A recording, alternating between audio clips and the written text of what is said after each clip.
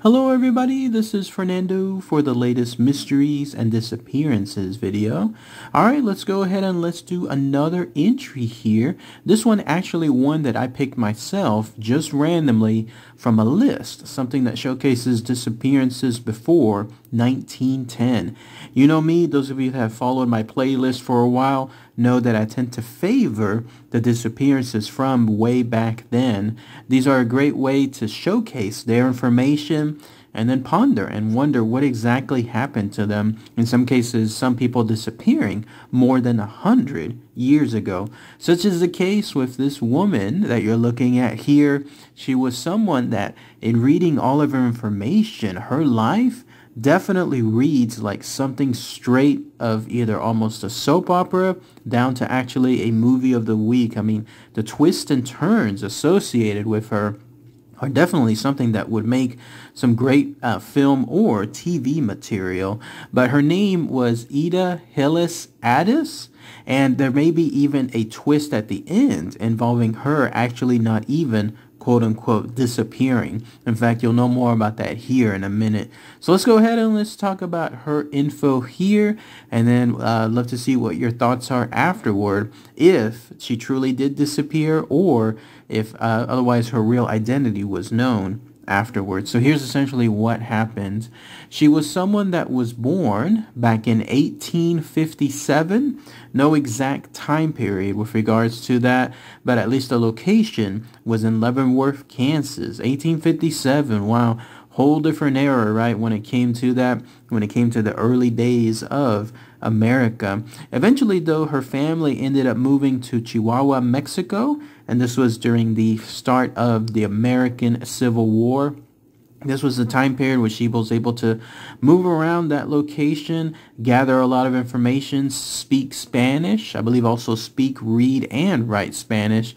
This became notable because later on she would be considered the first American writer to actually work on translating Mexican stories and some of their ancient histories into English. So she was someone that was definitely, again, using that type of translation abilities to uh, her advantage. But yeah, she would travel over there with the family over the frontier areas, going into villages, going into miners' camps, and so on. Eventually, at a young age of 15, her and her family moved back into the States, and then she was able to graduate. Um, this was in Los Angeles. She was able to graduate there from a high school, very small class, seven students. Hard to believe, right? How small those classes were.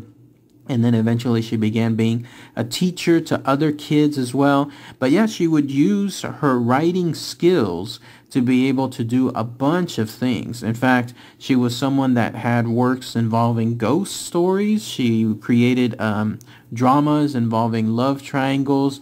She was someone that also focused on American feminism stories.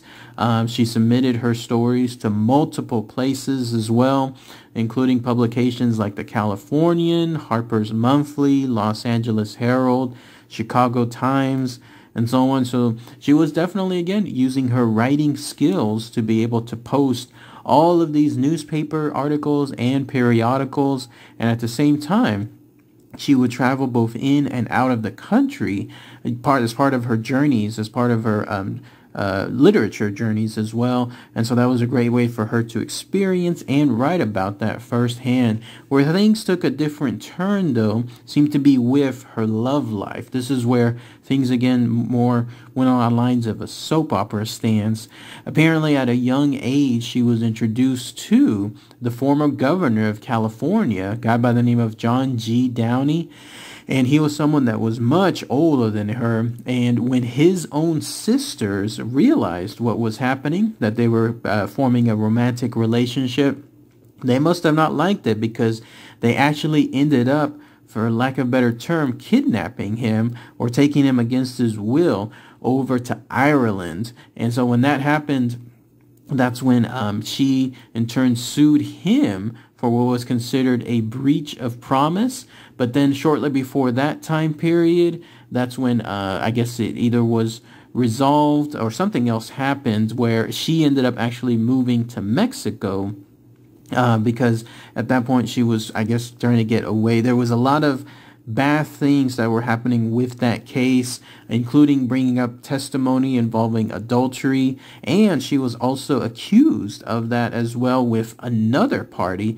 This was another person, a, uh, a person, an editor by the name of Theodore Chesterfield, who ended up uh, not only divorcing his wife, but the wife actually sued as well and named Yda Hillis Addis as a co-defendant. So for those keeping track, already in this case, she in turn was uh, working on some kind of a lawsuit against John G. Downey, and then afterward, she was accused of being involved with some kind of adultery with Theodore Chesterfield, also again turning into a lawsuit.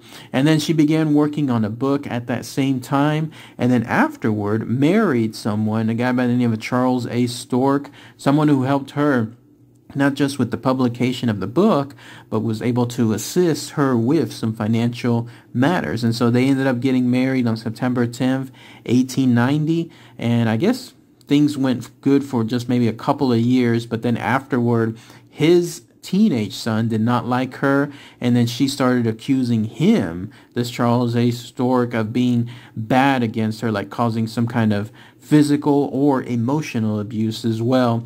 And so they ended up going actually uh, through a divorce and she was involved in yet another lawsuit of sorts with that. In fact, she was even committed on the ground uh, to some kind of mental asylum on the grounds of being insane. So this was something where he was accusing her of having this form of insanity and then she was involved with another lawsuit with, in this case, a hospital called Cottage Hospital, where she was treated, but she was charged with some kind of fee.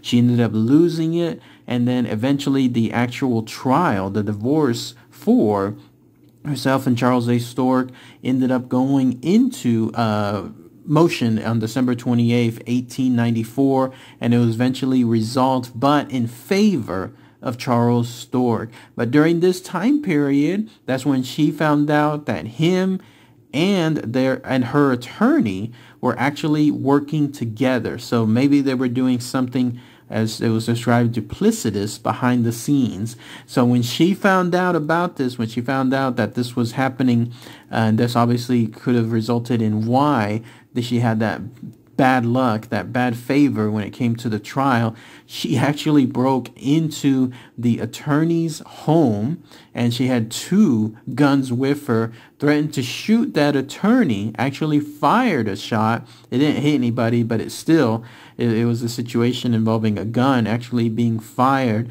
Police were called on her she was placed back in jail. She ended up spending eight months total in jail and also ended up spending a little bit more, about a year or so, in a different lawsuit involving a libel case. This may have been tied to that book she was writing because it was a book about uh, biographies of some prominent citizenry.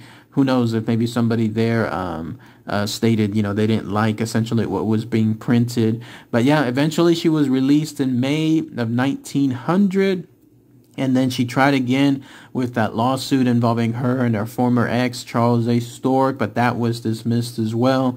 And then finally, long, uh, things were kind of wrapping up on her end, and she was asking for alimony. Things took a different turn on that end because um, the, the, the former husband, Charles A. Storke, refused to pay anything involving alimony, let alone the 500 that she was asking for, and instead one more time had her committed to an insane asylum. Isn't this weird? So several times now she's been accused of being insane. Several times now she's been in jail. Several times now she's been in um, an insane asylum. And several times now she's lost all these lawsuits and been involved in other type of, of lawsuits as well. All of this through the myriad of relationships that she was having. But where things take a different turn is this. She actually escaped from the asylum and that was lead to this current disappearance status. Somewhere along the way she escaped, was never ever seen again, and it's presumed that she basically just disappeared off the face of the earth. No one was able to find her, at least as her um, status as Yda Hillis Addis anymore, and that was the last that anyone has seen from her. It was presumed that she was deceased at a later point. But on yet another soap opera angle, there's this. Apparently, when she escaped, there's a theory that she actually ended up moving to another location. In this case, it was moving back to the Texas area, and there she assumed a whole new identity. Um, it was known as Adelaida Hillis Jackson. So she added like the YDA of her first name into another name, almost as like a little wink of sorts. But yeah, she was there. She was living with yet another person, in this case a husband by the name of Grant Jackson, and they ended up spending her remaining years, about 30 something years ago, there and then moving to San Francisco and then moving to Mexico and so on. So if you believe that angle, then her last, uh, after her disappearance, then her last set of years were all essentially living out in the open but under a different guise and basically starting over. But things also took a tragic turn here because it said that during that same time period, there, especially the last decade, the last 10 years of her life, she ended up going yet again back to a state hospitals and she ended up passing away there. Crazy stuff, right? Uh, this is the kind of stuff, again, that would make a great movie of the week. Each episode being one separate um, uh, montage of what's happening in her um, almost mile a minute type life. But ultimately, if you believe that other angle, it ended up being where she died in 1941 under a different guise in a state hospital, again being committed for some form of insanity. But that's it. That's pretty much all the info linked to Yda Hillis Addis. So let me know what you guys think. Does she really have all this activity and then just escaped that asylum and was nowhere to be found, presumably dying somewhere else? Or did you think that she went over to the Texas area, started a whole new life, another husband, and then went into the state hospital? Let me know what you guys think. All right, everybody. Thanks again as always. Take care. Bye.